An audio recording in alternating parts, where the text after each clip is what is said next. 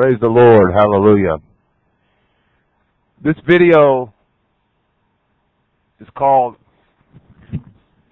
a call to prayer because God wants to call his people into deeper and deeper prayer.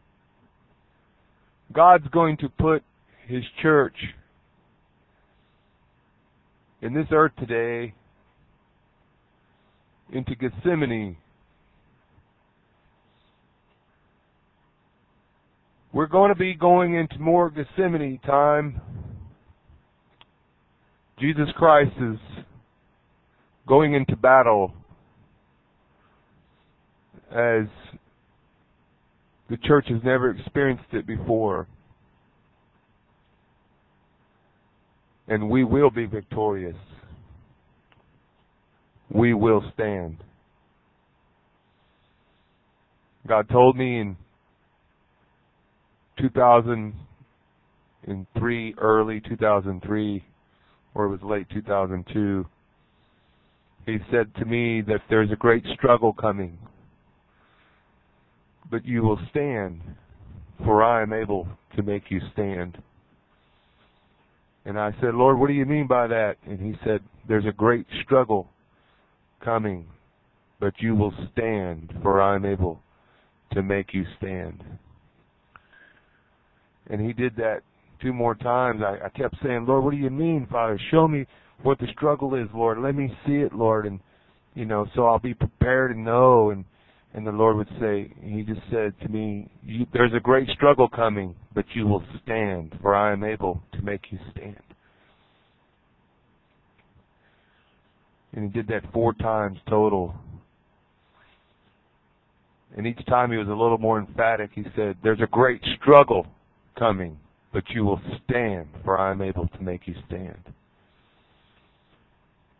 And this is not just for John Farrell, this is for the body of Christ. See, when God communicates to us, He's communicating to us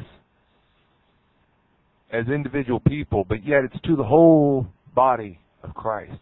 That's why when the Lord had me make the video encouragement to share, there's so much that God wants to communicate to His body through the fellow members of the body, through the various members of the body. And he is calling us to prayer right now because of the sufferings that are coming upon the church. The church is fixing to enter into the fire, the baptism of fire. And fire burns, but it also purifies. And in Jude, the book of Jude, starting in verse 20, it says Jude is talking to the church and he's saying, But ye beloved, building up yourselves on your most holy faith, praying in the Holy Ghost. Praying in the Holy Ghost. Now a lot of people say, Oh, you have to be praying in tongues and I don't think that's necessarily what he's talking about here. It could be, but and I pray in the Spirit, we pray in, in other tongues, but praying in the Holy Ghost What does it mean to pray in the Holy Ghost? It means that He takes possession of your vessel and you enter into session with Jesus at the Father's right hand. And you're entering into His fight and His battle. Okay, for the souls of men. That's what it means. And for the church. And to defeat all these works of darkness, make it manifest that the defeat has been accomplished. See, the, Jesus accomplished all the defeat of the devil on the cross. It was done. Even really before that, he drove him out. He said, Now is the prince of this world driven out in John chapter 12, verse 31, before the Last Supper. See? So what we're seeing today is the manifestation of that. So he's calling us to enter into prayer in the Holy Ghost letting the Holy Ghost take us over. Let the Holy Spirit have your vessel and just kneel down before Him and worship Him and pray and commune with your Father and just love Him. And let me tell you, when you start doing that, your mind's going to be attacked. This is what happens.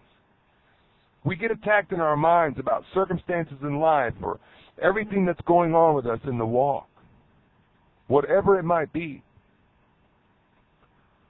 You know, it'll be issues about others, issues about ourselves, issues about this and that.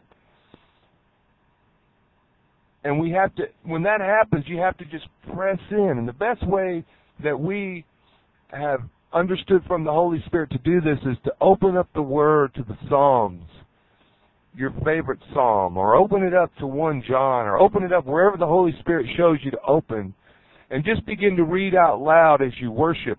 Just read the Psalm, and then just worship the Lord, and then just just keep doing that, and and then when you enter into that true worship, the, the enemy has to flee. He cannot stick around. He, he will not stick around that.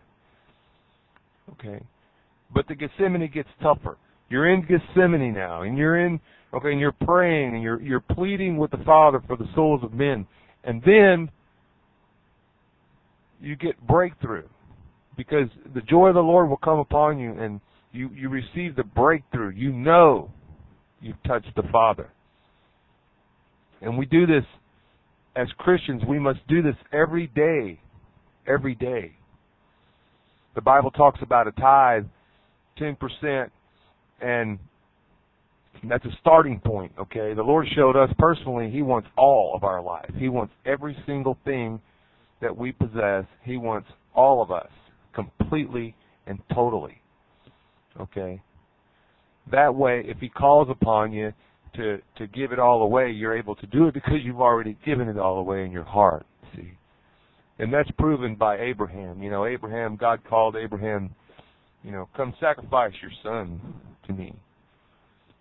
You know, Abraham didn't bicker. And right then, boom, Isaac was gone from his heart. God just circumcised his heart, took Isaac out of there, and Abraham was able to go all the way to Mount Moriah, three day journey, and then Isaac carried the wood up to the mountain. He was probably 30 years old, and he was bound. His own father bound him and put him on the wood and reached to slay him with the knife. Hallelujah. And he got resurrection life. Glory to God. He got resurrection life right there. Abraham did. Hallelujah. And so did Isaac. Glory to God. And that's what God's calling us. Is so awesome. He's just showing me this right now. Glory. You know, let us lay it down because He's going to pour it out. He's going to pour it out. He's going to pour it out. Hallelujah. The resurrection power and life of Jesus. Hallelujah. Glory to His holy name. Glory to His holy name. And He says, so we're praying in the Holy Ghost. Verse 21, Keep yourselves in the love of God, looking for the mercy of our Lord Jesus Christ unto eternal life. And of some have compassion, making a difference, and others save with fear, pulling them out of the fire, hating even the garment spotted by the flesh. Now, unto him that is able to keep you from falling, what I was saying at the beginning of this video, God said, You will stand, for I am able to make you stand through this great struggle Okay? He's able to keep us from falling and present us faultless before the presence of His glory with exceeding joy. To the only wise God, our Savior, be glory and majesty, dominion and power, both now and ever. Amen. If you're not really sure that you can enter into that Gethsemane, you really do need to just get with Jesus and, and cry out to Him and say, Lord, make me more of a prayer warrior. Prayer is the first call of a believer. The first call. When Jesus went to Gethsemane, he told Peter and James and John, he said, Pray with me. And they fell asleep. And how many of us have fallen asleep and not prayed with Jesus? And Lord, I pray you have mercy upon your church tonight, Lord. Raise up a praying army to intercede with you and enter in session with you, Lord, at the Father's right hand. By the power of the Holy Ghost and through your precious blood. Amen. Hallelujah.